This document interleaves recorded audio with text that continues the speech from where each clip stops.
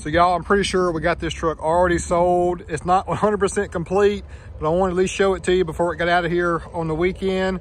Ram 2500, Big Horn, Cummins Diesel, Delmonico Red, Covert Edition. Ooh wee, man. Let me know what you think about this. I don't care if you're old school or new school.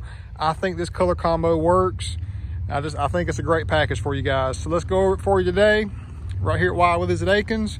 We got a level kit up front, uh, 1.75 inch ReadyLift level kit is essentially your spacer right there. Uh, gets it sitting nice and level. We've got 35, 12 and a half, 17 Toyo Open Country RT. Now you don't see me use the RTs as much.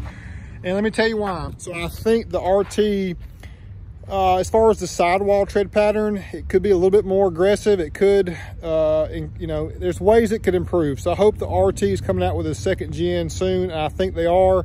Uh, but on this truck, it just works. It just looks great to me. So we, we ran with it.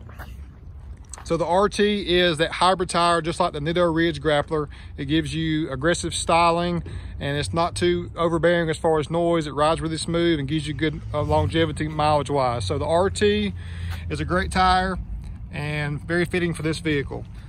Uh, we got Method NV305, so one of the number one Method wheels of all time. And again, for good reason, been a very popular off-roadish wheel. 17 by 9 we're zero offset. So our mile to wild scale we're in that mid-range. We're sticking out guys three three and a half inches on a zero offset on a level truck. So pretty aggressive on our offset to be a level kit with 35s uh, still not too much. I think it's very proportional and fits the, si the size and styling of this truck.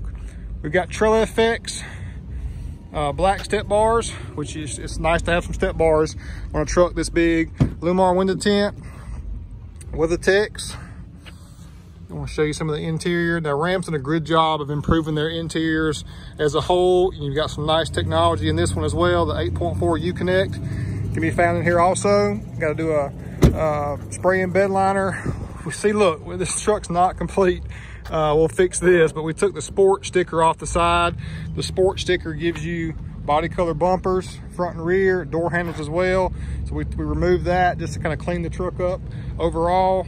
Still got to do a few more things to this truck, but like I said, just wanted to show you guys what we think is a beautiful truck right here at Wild Willys at Akins.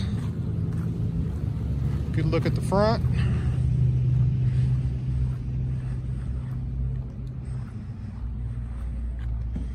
Truck looks great. Let us know what you think about it. Hope you like it as much as we do, guys. And again, my name is Neal Shepard. Wild Willys Custom Accessories at Akins, Chrysler Dodge Jeep Ram and Ford in Winder, Georgia. Your source for anything auto. Thanks a lot.